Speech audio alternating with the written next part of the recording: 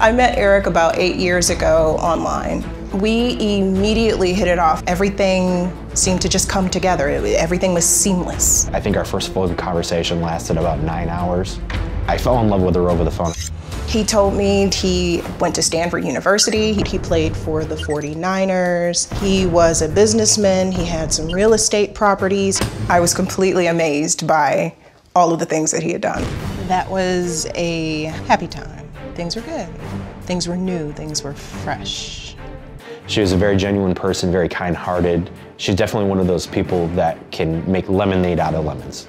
Eric also told me that he was very wealthy and that his wife was tragically killed in a car accident and he was raising his two boys. I had extreme empathy for him.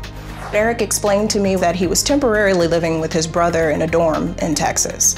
He also said that his children were with a nanny in California. We were always on the phone, we were always online chatting.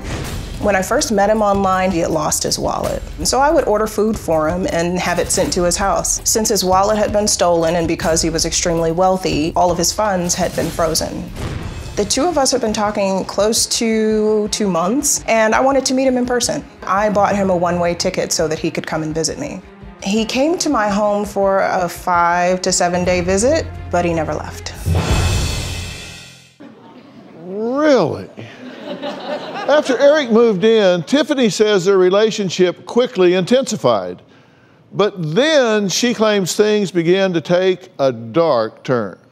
Eric is a complete con man. He's a fraud. He promised to buy me a car. He never did. He promised to pay the rent, and he wrote checks from a closed account. They would bounce. At one point, he even put an offer on a home. It was breathtaking. It was a dream home. I mean, when I say dream, I mean dream. it was gorgeous. I fell in love with that house. And he said that he closed on it.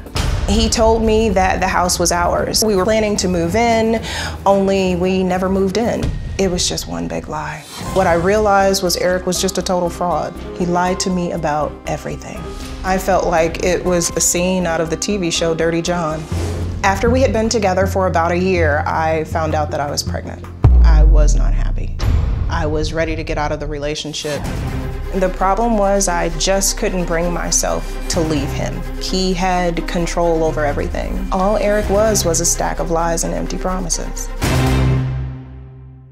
Okay. Hi. Now, good to meet you. It's a pleasure to meet you. Thank you for having me. I'm really Dr. Phil. okay.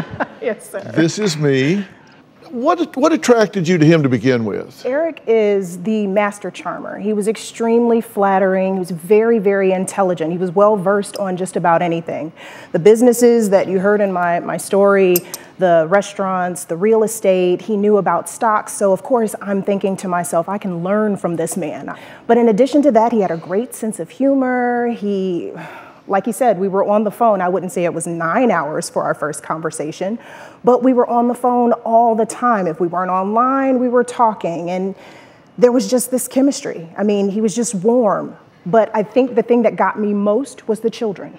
He said that his wife was tragically killed, so immediately I felt empathy for him. He said that he was raising two boys on his own, and I'm thinking, wow, single man, father, two kids so at home without everything a mother. except a box of puppies. Pretty much.